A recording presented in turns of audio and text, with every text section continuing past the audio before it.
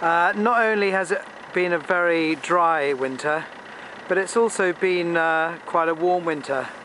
I'm really taking this to uh, show that this morning actually we have got a minus two, so we have got a bit of a, a frost and a slight ground frost here.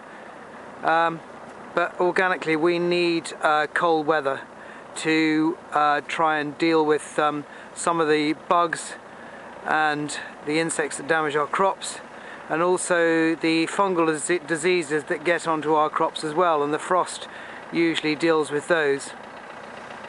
Uh, but this winter it hasn't been very cold so we're really sort of hoping for some even colder weather uh, and certainly there have been some rusts in our wheat but not too bad because we've chosen varieties that resist rust uh, but more worryingly uh, the thing that I'm really worried about is uh, possible potential of brown rust later on in beans.